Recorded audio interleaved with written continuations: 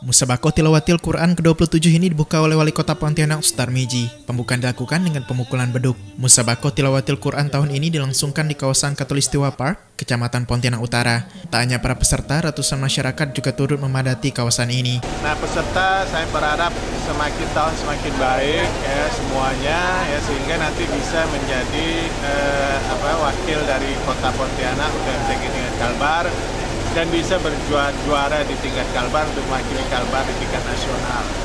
Selama ini Pontianak dikenal dengan gudangnya Kori dan Korila. Nah, selama ini ini sudah berapa dekade ini tidak ada, ya tidak ada dan ini tang, apa, tantangan bagi LPTQ. Sebanyak 251 peserta telah mendaftar untuk mewakili masing-masing kecamatan, di mana penyeleksian terdiri dari lima cabang perlombaan dengan 18 kategori, baik putra-putri, remaja hingga anak-anak dan dewasa. Nah, yang dilombakan ini lima kategori, ya lima kategori dengan tilawah, kemudian hifzil Quran, hatil Quran, sahril dan pahmil. Dari lima cabang Pak, mungkin ada yang dijagokan nih Pak?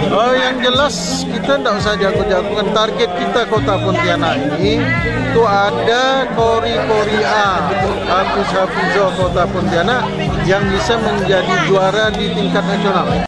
Ustaz Meji berpesan pemenang dari MTQ Kota Pontianak nantinya dipastikan akan mewakili Pontianak ke ajang MTQ tingkat provinsi tahun 2018. Untuk itu, para Kori dan Kori A diharapkan bisa menampilkan lantunan ayat Al-Quran dengan merdu dan baik.